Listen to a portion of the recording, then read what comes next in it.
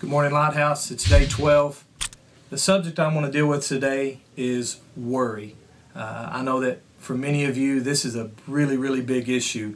Uh, I'm blessed to have one of the most amazing mothers in all the world, and she's probably going to watch this, and I'm, I'm okay with that. But my mom has the ability to do so many great things, but my mom in our family is the one who worries. Uh, and over and over in my life, I've heard my mom uh, comment to pray and, and would even call us and tell us about stuff. And I would make the comments, and Mom, what do we need to do? And she'd just say, oh, I don't know, just pray. Just pray kind of rings in my head. My mom has always said that, just pray.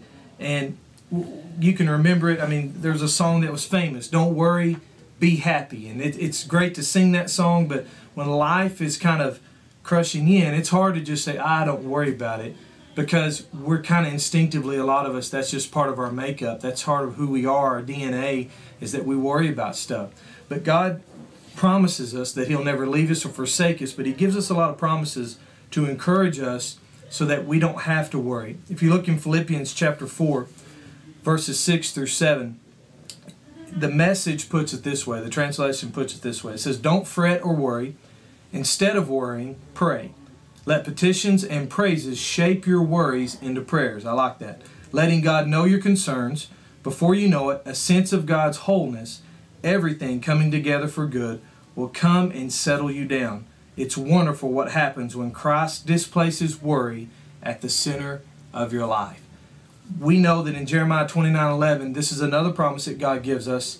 For I know the plans I have for you. This is his prayer to us, declares the Lord plans to prosper you and not to harm you, plans to give you a hope and a future. And I want you to look at the last part of this. Then you will call on me and come to me and pray to me, and I will listen to you. You will seek me and find me when you seek me with all your heart. When when God promises something, he is not a man that he should lie.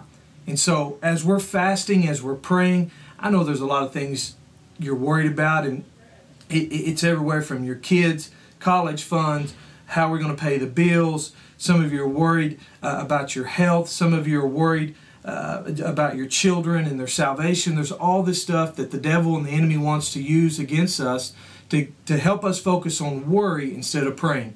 And so, my encouragement to, for you today, my challenge for you today is this when you start to worry about something, immediately take that to prayer.